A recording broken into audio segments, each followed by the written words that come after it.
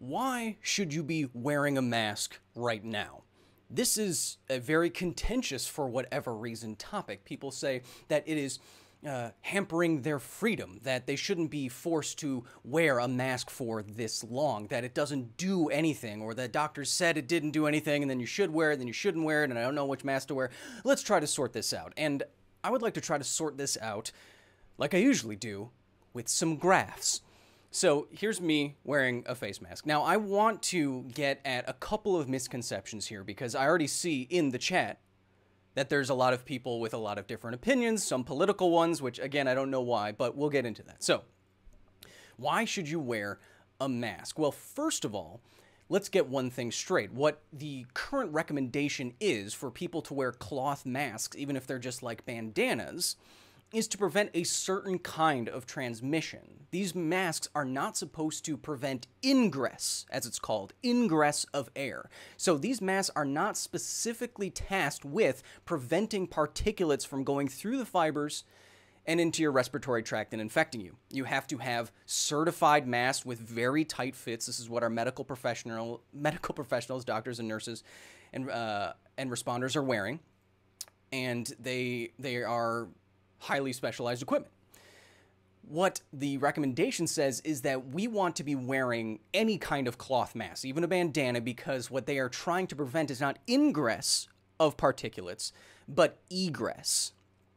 So, egress meaning uh, particulates escaping from us. And just because of our biology, when we cough, when we sneeze, when we might be shedding virus, as it's called in epidemiology, this virus is usually attached or contained in like water vapor and water droplets and cough droplets and blah, blah, blah, blah, blah, blah.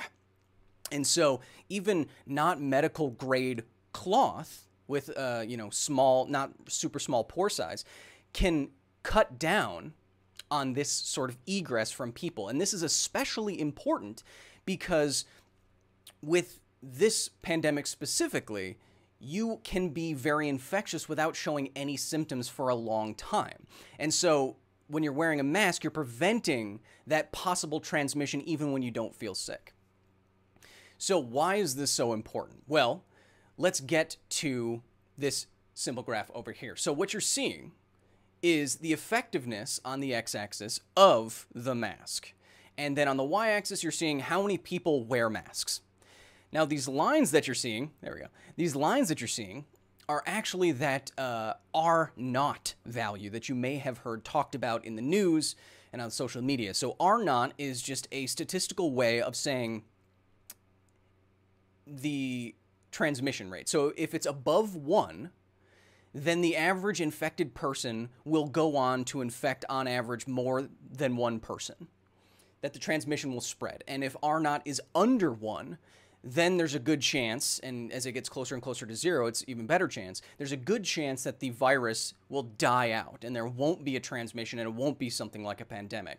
So, what you're looking at here, this is the line right here where you'd want to be. You'd want to be in the blue zone and underneath this R naught of one.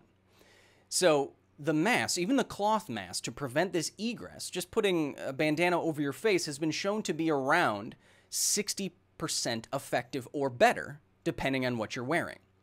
So now let's look at the graph, let's look at the data, and let's go up.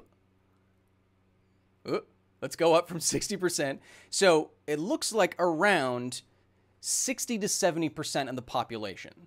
So if 60 to 70% of the population were just wearing even simple cloth masks, we would bring this under the R naught of 1, and we would, as the top of the graph says, the rate of transmission can entirely stop. I, am not making up numbers here. This is entirely possible. On the completely theoretical side, if we all were perfectly isolated, this entire thing would evaporate in two weeks. Isn't that crazy? But because we can't do that, this is one way to get at that to lower the transition rate and wearing a mask even if you don't feel sick especially if you don't feel sick when you're going out and you're interacting with people which you shouldn't really be you should be cutting back on that too that helps everyone. Now i see people in the chat even here saying well you know we have to get the herd immunity up and this is um, you know kind of trespassing on my personal freedom and that's true. It is. Unfortunately, you all signed up for a society. If we want to live as human beings in large societies, we have to follow and acknowledge our own biology, and there are things that you give up when you enter a society. There are rules, and public health is one of those rules. You can't just, you know, poison the water supply or something like that. Well, that prevents my personal freedom from putting poison in stuff. Well, yes, technically it does, but we are looking out for everyone in a society. And I know that's a that's kind of a bombastic example and it's not really fair, but we how about a different one? So this kind of affects the argument what price do we put on human life? I see people saying just open it all up. Everyone's going to get it. Just have everyone get it all at once. We'll get the herd immunity up, and whatever happens is not going to be as bad as the economic cost. So that is putting a price tag on human life. And it sounds abhorrent, but it's something that we do as a society, again, every day. For example, if we made the speed limit one mile per hour for everyone everywhere, there would be less, less deaths on the road each year.